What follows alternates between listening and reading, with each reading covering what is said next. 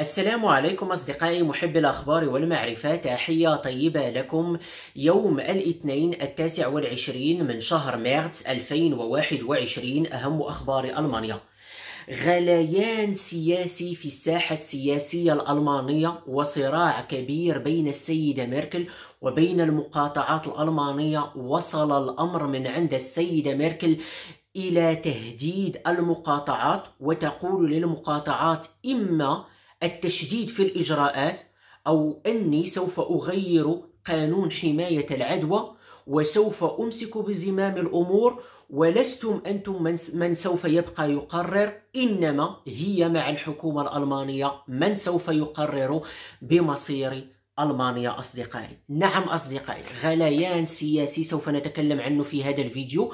أيضا سنتكلم على عدد الأجانب الذين هاجروا وجاءوا إلى ألمانيا سنة 2020 وسأخبركم المناطق آه، التي جاء منها الأجانب. وسنتكلم على خبر رياضي خفيف. وعلى خبر بحالة الطقس خفيف. فلنبدأ على بركة الله. سنبدأ في البداية بالحالات. سجلت في الأربع وعشرين ساعة الأخيرة تسعة آلاف وثمانمائة واثنين وسبعون حالة وتوفي 43 شخصا وارتفع عدد حالات العدوى آه، لكل مئة ألف نسمة إلى 134.4 حالة للعدوى لكل مئة ألف نسمة وهو عدد كبير أصدقائي.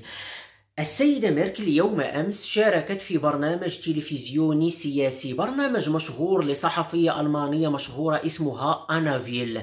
المهم السيدة ميركل ذهبت إلى برنامجها الصحفي وتكلمت بصراحة. وظهر على السيدة ميركل القلق وظهر على السيدة ميركل الغضب.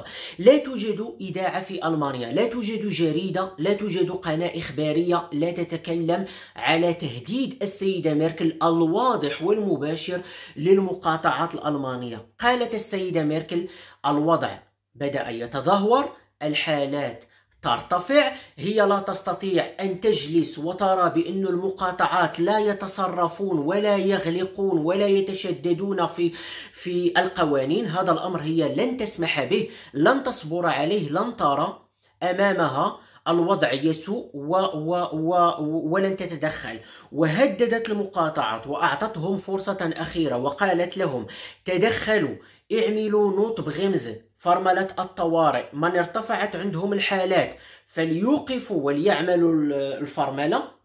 وليغلقوا آه، كل آه، شيء وليعملوا إجراءات متشددة. وأيضا انتقدت بشكل غير مباشر انتقدت آه، مقاطعة شمال الراين فيستفالن نورد راين فيستفالن وانتقدت السيد لاشت بطريقة غير مباشرة لأن الحالات في مقاطعة شمال الراين فيستفالن ارتفعت لكن السيد لاشت لا يرغب بالغلق إنما يدعم الفحص. يقول الآن من يرغب بالتسوق يجب عليه أن يجلب معه فحصا سلبيا هذا الأمر لم يعجب السيدة ميركل. انتقدت أيضا بشكل غير مباشر مقاطعة برلين لأن مقاطعة برلين ارتفعت فيها الحالات. أيضا مقاطعة برلين لم تعمل ما تم الاتفاق عليه عندما ترتفع الحالة الغلق ومقاطعة برلين قالت أيضا الفحص من يريد أن يذهب عند الحلاق يجيب معه فحص من يريد أن يذهب للتسوق يجيب معه فحص. هذا الأمر أغضب السيدة ميركل. أغضبها أيضا ما ما مقاطعة زارلاند التي قررت بأنها ترغب بالفتح بعد أعياد عيد الفصح ودعم الفحص. قالت هذا الوضع غير مقبول. لا يمكن أن نفتح والحالات ترتفع فهي غاضبة جدا. وتقول لهم إما هكذا يعني تهديد مباشر إما تتشدد في القوانين أو سوف أغير قانون Infektionsschutzgesetz يعني قانون الحماية من العدوى. هو قانون يمنح للحكومة الألمانية مثل قانون حالة الطوارئ يمنح للحكومة الألمانية التدخل والسيطرة على وضع معين وتكون عندها هي الكلمة الأولى والأخيرة لأنه قانون طوارئ لأنه هناك عدوى آه، وتسحب وتسحب شيئا ما. آه، يعني الحرية للمقاطعات أن تتصرف كما يحلو لها. فهي هددتهم قالت لهم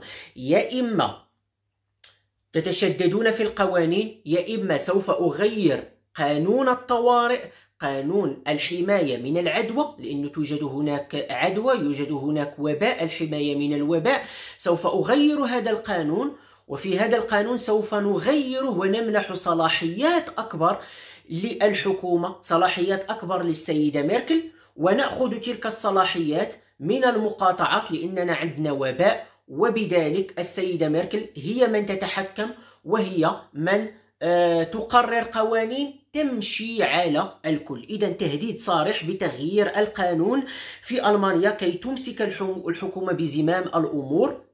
أصدقائي السيد زودا من مقاطعة بايرن ساندها في الأمر ودعمها وقال نعم السيدة ميركل على حق ويجب على المقاطعات أن تستمع إلى كلام السيدة ميركل ويجب على المقاطعات أن, أن, أن تتشدد لأننا نحن الآن الحالات بدأت ترتفع بقوة وبدأ يرسل أيضا بعض الرسائل الانتقادية في اتجاه لاشت لأنه نعرف الآن هو ولاشت صراع بينهم من يصبح مستشار من يصبح آه، يعني آه، يعني خيار الحزب الحاكم آه، كي يكون هو مستشار ألمانيا المقبل أو المرشح لمستشار ألمانيا.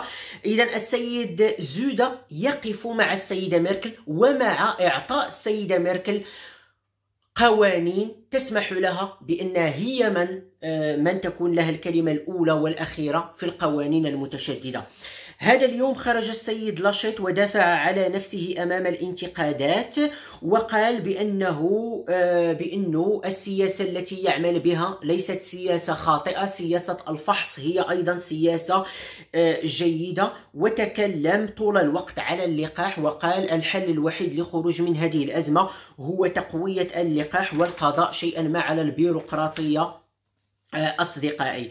إذا هذا الآن كما تلاحظون غليان سياسي ألماني وبدأ الأمر يصل إلى حتى تغيير القانون وعمل قانون الطوارئ قانون حماية من العدوى الذي يضعف المقاطعات ويقوي الحكومة وتصبح الحكم في ألمانيا فقط للحكومة بخصوص هذه الأمور. يعني الحكومة هي من تتحكم. الآن سنمر إلى موضوع آخر أصدقائي من, مدي... من مقاطعة تيورينغن مدينة فايمار. أعلنت مدينة فايمار التي توجد في مقاطعة تيورينغن أنها تريد أن تفتح كل شيء لمدة ثلاثة أيام وتعمل التجربة التي توجد في مدينة تيوبينغن بمقاطعة آه، بادن فيوتنبرغ آه، تريد أن تعمل نفس النموذج ونفس التجربة. يعني مدينة فايمار سوف تفتح لمدة ثلاثة أيام تفتح محلات تفتح كل شيء. وتجربة الفحص السلبي ولبس الكمامة ويجربون نموذج الفتح مع الفحص لمدة ثلاثة أيام أصدقائي.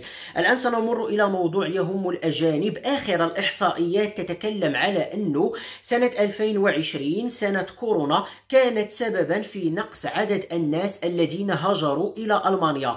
بطبيعة الحال 2020 كانت زيادة ب 1.8% لكن زيادة ضعيفة جدا جدا أصدقائي. وهاجر تقريبا إلى ألمانيا 200 واثنين آه، مئتين وأربعة آلاف. يعني هاجر إلى ألمانيا مئتين وأربعة آلاف فقط وهو عدد قليل للغاية. الآن سوف أخبركم بعدد الأجانب الذين يعيشون في ألمانيا. يعيش حاليا في ألمانيا من الأجانب الذين لا يحملون معهم هوية ألمانية يعني ليست عندهم جواز سفر ألماني لم يحصلوا على الجنسية الألمانية. بعد 11.4 مليون شخص أصدقائي.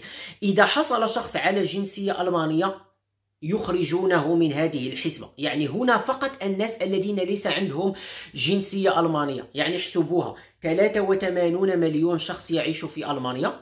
من بينهم 11.4 مليون شخص ليست عندهم جنسية. ألمانية. لكن آه، بعض الأرقام المهمة أخرى. آه، السنة السابقة يعني الآن هو قالوا بأنه 2020 عدد المهاجرين هو 204 لكن أصدقائي شوفوا معي الأرقام الأخرى ماذا تقول. تقول بعض الأرقام الأخرى التي أيضا أصدرتها الحكومة بأنه سنة 2020 دخل إلى ألمانيا 740 ألف أجنبي.